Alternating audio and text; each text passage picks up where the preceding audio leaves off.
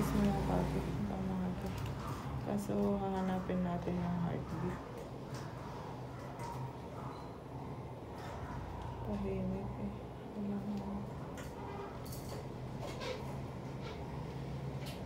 Walang heartbeat ito. Yun yung heartbeat, hindi natibok. So patay na yun.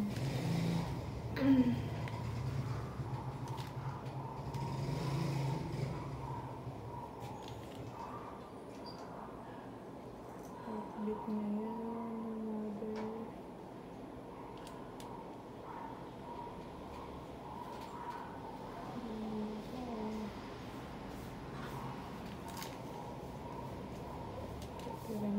yan,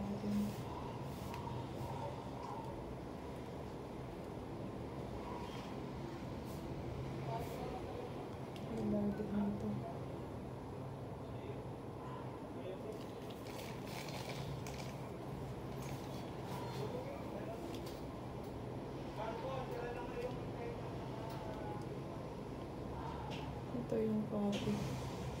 Kasi wala rin copy.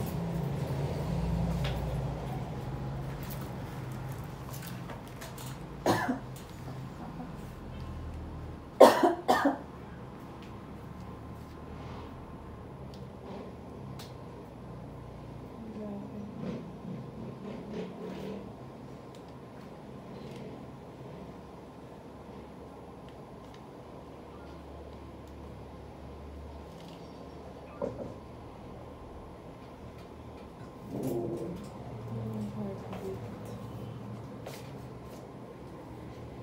Hindi po katulad ng unang ultrasound.